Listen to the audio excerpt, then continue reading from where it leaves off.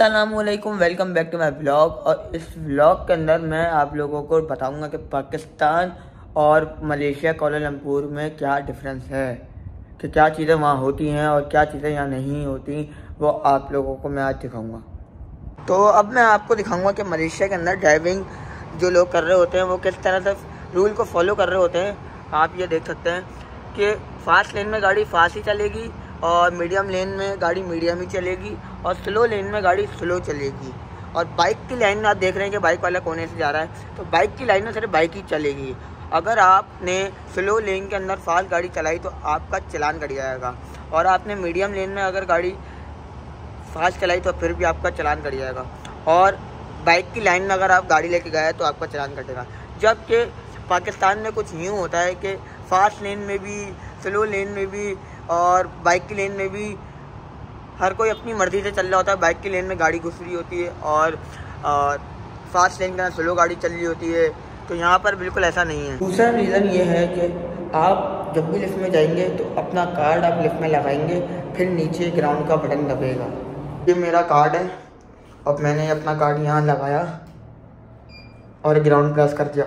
इससे यह होगा कि आपके फ्लोर पे और ग्राउंड फ्लोर पे कोई नहीं आ सकता और इससे आपके घर में चोरी नहीं होगी। जब तक आपके पास ये कार्ड नहीं होगा, आप अंदर लिफ्ट में आ नहीं सकते और किसी के घर नहीं जा सकते। पाकिस्तान के अंदर आप किसी भी लिफ्ट में जा सकते हो, किसी के फ्लैट के अंदर एंटर हो सकते हो और किसी के घर में गेट पे आप जा सकते हो। जिससे चोरियाँ होती हैं पाकिस्तान के अंदर और वो आजकल हो रही हैं। तो एक और डिफरेंस बताता हूँ कि मलेशिया के अंदर जब भी आप अपनी गाड़ी लेकर आओगे तो कहाँ आपको खड़ी करनी है, कहाँ पार्क करनी है, वो मैं आपको दिखाता हूँ। जगह जहाँ मैं रहता हूँ और यहाँ पर आप अपनी गाड़ी नहीं खड़ी कर सकते, आपको पार्किंग में ही खड़ी करनी पड़ेगी जो आपकी पार्किंग है। क्योंकि यहाँ पर अगर आप ऐसी गाड़ी छोड़ के चले गए तो 200 रिंगट का आपके ऊपर फ़ाइन होगा।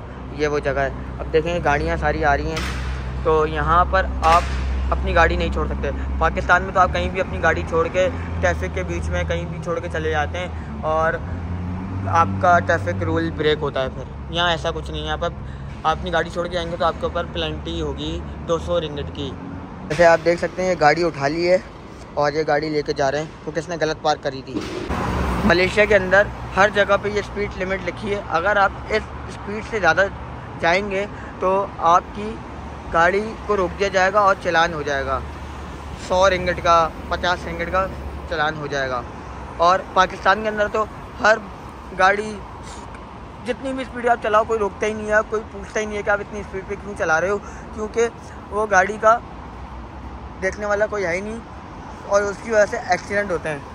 और यहाँ मैंने कोई एक्सीडेंट अभी तक देखा नहीं है, क्योंकि यहाँ स्पीड लिमिट होती है। और डिफरेंस ये है कि यहाँ पर कोई बंदा रोड पे कचरा नहीं फेंकता और यहाँ पर कोई भी बंदा आपको दिखाता हूँ मैं। और आप देख सकते हैं कितना साफ़ सुथरा है ये मलेशिया।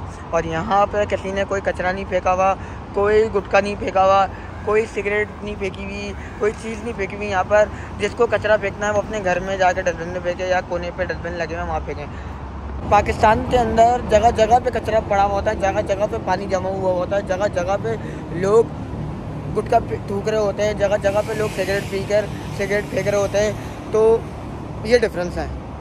यहाँ पे मलेशिया में किसी दीवार के ऊपर ये नहीं लिखा हुआ कि इस बाबा से जाके ये काम करवाएँ इससे रबता करना तो ये नंबर है पतला होने के लिए ये नंबर पर रबता करें।